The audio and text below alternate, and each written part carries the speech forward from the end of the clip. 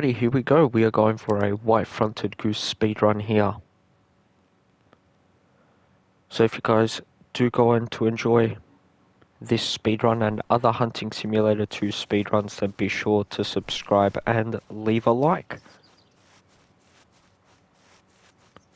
So, so white-fronted geese are usually spawning here. Is that one? No, that's a snow goose, my bad.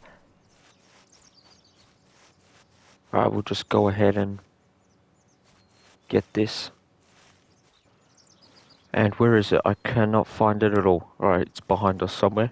Oh, there we go. Thank you guys for watching.